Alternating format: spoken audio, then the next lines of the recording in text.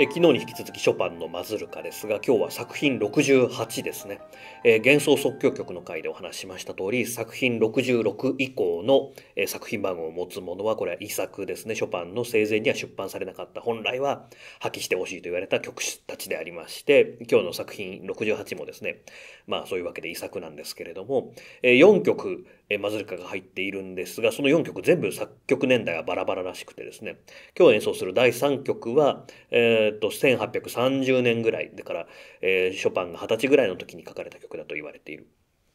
で、えー、しかしまあこれはね出版されなかったということで、えー、昨日の曲のようにですね、まあ、デビューの時には用いられなくてそのままお蔵入りになるような曲だったんですけれども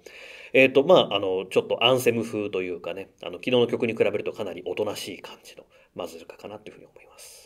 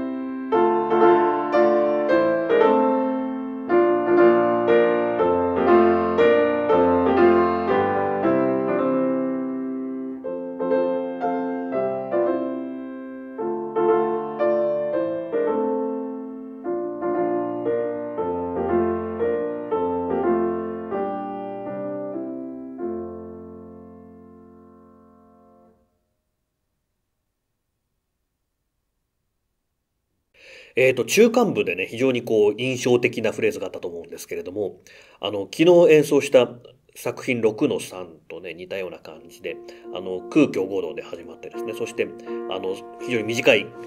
中間部なんですけれども、旋律が、あの、リディア戦法というね、あの、変な音階で、えー、書かれていまして、まあ、これが民族的でもあって、ちょっとなんか調子っ外れな感じにも聞こえると。で、全体としてこの中間部がなんか浮遊感があって、えー、昔のことを思い出している回想しているような感じの雰囲気を与えるんですね。でショパンの曲ではこういうふうにあの3部形式っていうんですけど ABA ってなってる時の B の部分中間部の真ん中の部分で何かこう昔のことを思い返している回想シーンみたいなものが描かれてそこからまた、え現実に戻ってくるみたいな感じのストーリーを持つ作品っていうのがこの後もたくさん書かれるようになります。